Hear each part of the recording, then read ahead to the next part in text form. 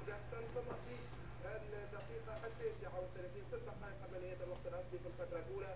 هدف بعد تمريرة من مولر وتسديدة على الطائر من مرتزاكر قلب دفاع المنتخب الألماني. في الشوط الثاني كانت البداية كذلك قوية من الألمان. هدف الرابع هذه المرة كان عن طريق الرائع مسعود أوزيل. أربع أهداف مقابل شيء كنا نعتقد أن المباراة انتهت بفوز الألمان لكن للسويد كانت كلمة أخرى عن طريق النجم زلاتان إبراهيموفيتش.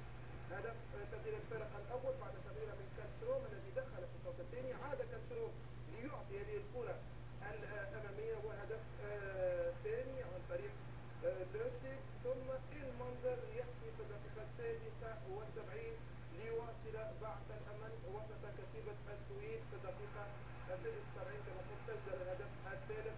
هدف أصبح يفصل السوري عن التعادل ونقطة من ألمانيا.